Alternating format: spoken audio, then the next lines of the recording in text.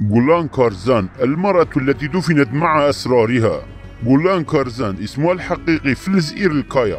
ولدت بولاية بدليس عام 1970 تربت في أنقرة ودرست هناك. أمضت فترة من حياتها في السجون. بعدها توجهت إلى الشام والتقت عبد الله أوجالان هناك. بعدها عادت لولاية آمد وغارزان. عندما يتم القبض على أوجالان تقترح جولان القيام بعملية فدائية انتحارية فانخرطت في إدارة وحدات الانتقام وتوجهت لأنقرة للقيام بعملية انتحارية غير أنها لم تنفذ عمليتها لصدور قرار من أوجالان بوقف كافة العمليات والأنشطة. هذا وجولان شاهدة على بعض العلاقات السرية بين الباكيكا والدولة التركية حيث عملت كمفوضة وشاركت في جلسات المفاوضات مع مؤسسات الدولة. ففي شتاء عام 2000-2001 قالت جولان بأن العلاقات مع تركيا تربكها وأن هذه العلاقات لا تخدم الشعب الكردي. وأخبرت محيطها أن ما يحدث الآن يقلقني ويزعجني جدا ويؤلمني كثيرا.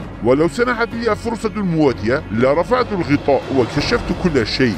فما كانت جولان تعزم إفشاءه للعلن هو شيء هام متعلق بعلاقات أوجلان وجماعته المعروفة بجماعة أنقرة مع الدولة التركية. فجولان كانت شاهدة على العلاقات المعوجة والمريبة والسرية للبككة مع تركيا. صدر قرار التصفية الجسدية بحق جولان من قبل جميل بايك وعدد قليل من كبار قادة البككة غير أنهم لم يجدوا أي أسباب أو مبررات لاعتقالها. فقد كانت قائدة القوات الخاصة أي القوات الفدائية الرئيسية للباكيكا فعوض اعتقالها مباشرة وقتلها لاحقا أحاك هؤلاء مؤامرة لاغتيالها. فأثناء وجودها في اجتماع للمرأة تشعر جولان بتوعك فجأة وتترك الاجتماع ليتم بعدها العثور عليها مخنوقة في غرفتها. فيا ترى من يستطيع خنق امرأة طويلة بطول 178 سنتيمتر ومتخصصة في الفنون القتالية كالكاراتيه والغريب هو انتفاء أي شهود على هذه الجريمة في واد يعيش فيه أكثر من 300 شخص علما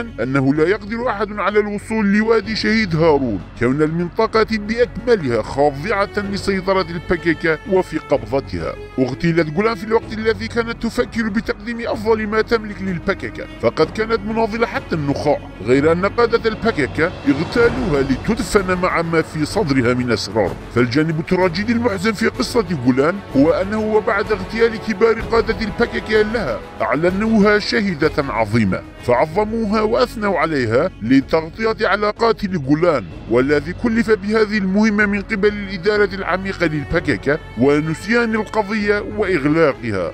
والجانب الدراماتيكي في حادث مقتل جولان هو أن قاتلها أي الباكيكا قتلتها وفي نفس الوقت أعلنتها شهيدة بعمر الاثنين وثلاثين عاما تم اغتيال جولان جارزان في وادي قنديل المكتظ بكوادر وأعضاء الباكيكا. في واد توجد فيه أكثر من 300 نسوة. أعلنت الباكيكا أن مقتلها كان نتيجة مؤامرة قذرة والحق كذلك. فقد أصبحت جولان ضحية مؤامرة قذرة للباكيكا.